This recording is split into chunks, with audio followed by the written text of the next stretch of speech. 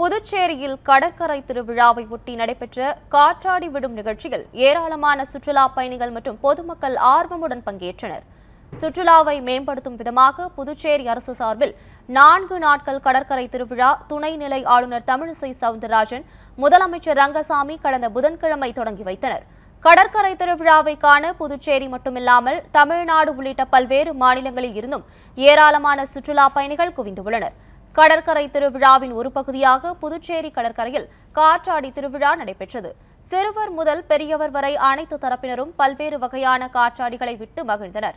கடற்கரை வாலிபால் போட்டியில் ஆடவர் மகளிர் என இரு பிரிவுகளாக போட்டிகள் நடத்தப்பட்டன.